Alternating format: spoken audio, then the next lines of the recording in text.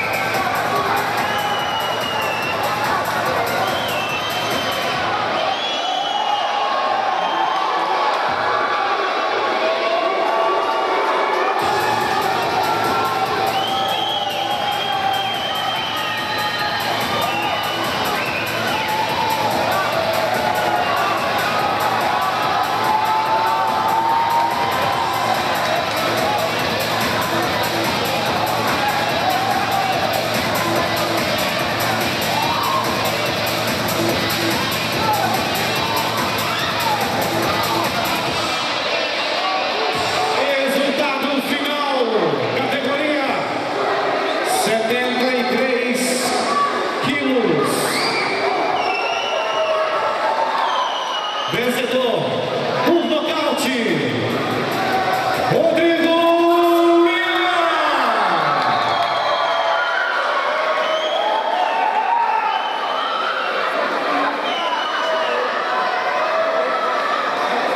Rodrigo. O Rodrigo já chegou com torcida já aí deu aquele incentivo, ajudou a torcida. Consider